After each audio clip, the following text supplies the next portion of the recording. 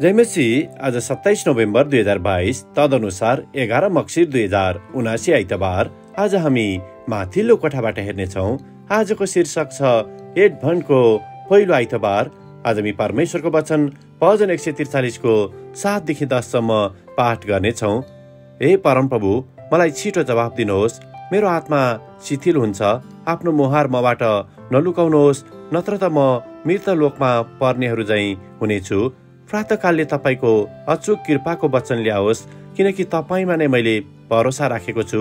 कुन मार्गमा मैले हिँड्नुपर्ने हो त्यो मलाई सिकाउनुहोस् किनकि मेरो आत्मा म तपाईँतिर उचाल्दछु हे परमप्रभु मलाई मेरा शत्रुहरूबाट छुटकारा दिनुहोस् किनकि मैले आफैलाई तपाईँमा लुकाएको छु।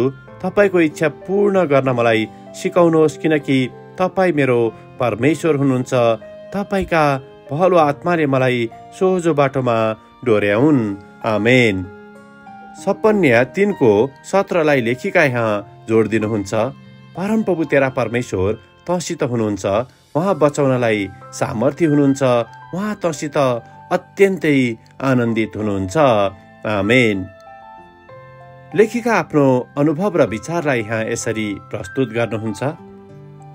क्रिसमस सधैँ मेरो मनपर्ने समय हो र म यसलाई ठुलो उत्साहसहित पर्खन्छु। धेरै वर्ष अघि नजिकैको छुट्टीको समय बावजुद म खालीपनले भरिएको थिएँ। मैले माया गरेको र मेरो भविष्यको योजना बनाएको मान्छेसँगको सम्बन्ध त्यो शरद ऋतुमा टुट्न पुग्यो। अचानकै मेरो जीवन लक्ष्यहीन भएको कुराको महसुस मलाई भइरहेको थियो। त्यो वर्षको विधाहरू मैले मेरो विदुर बुवासँग बिताएँ। डिसेम्बरको अन्त्यमा एक दिन मैले उहाँको भान्साको झ्यालबाट बाहिर हेरेर बादलले भरिएको मौसमले मेरो भावनाहरूलाई प्रतिबिम्बित गरेको महसुस गरेँ।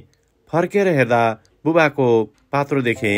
म आउने मितिमा उहाँले मेरो उडानको जानकारी लेख्नु भएको थियो। त्यसको तल एउटा टिपोट लेखिएको थियो।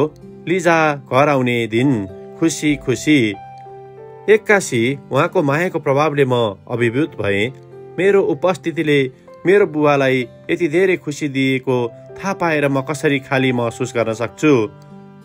गहिरो बुझाइमा मलाई सम्झना भयो कि मसँग स्वर्गीय अभिभावक पनि हुनुहुन्छ जसले मलाई प्रेम गर्नुहुन्छ र मलाई आनन्दित तुल्याउनुहुन्छ।